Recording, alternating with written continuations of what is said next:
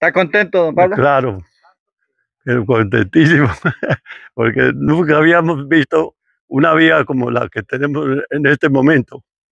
No la habíamos visto hasta, hasta hoy, pues, digamos. Eso es lo que necesitamos nosotros los campesinos. Buenas vías para poder nosotros transitarnos. Nosotros vivimos agradecidos con el señor gobernador y el señor ingeniero Arbey, que fue el que a mí me dijo personalmente que, eh, que nos iba a ayudar con esta carretera hasta terminarla. Y así se cumplió. Entonces estamos agradecidos con todos. ¿A usted personalmente en qué lo beneficia?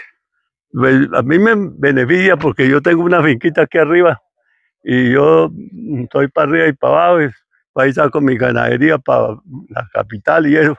Entonces es un beneficio para mí que tengo que muchos recuerdos al señor gobernador de que nos hizo esa carretera tan bien construida. Esta, esta, así, este mantenimiento, lo menos, ¿cuántos años le va a durar?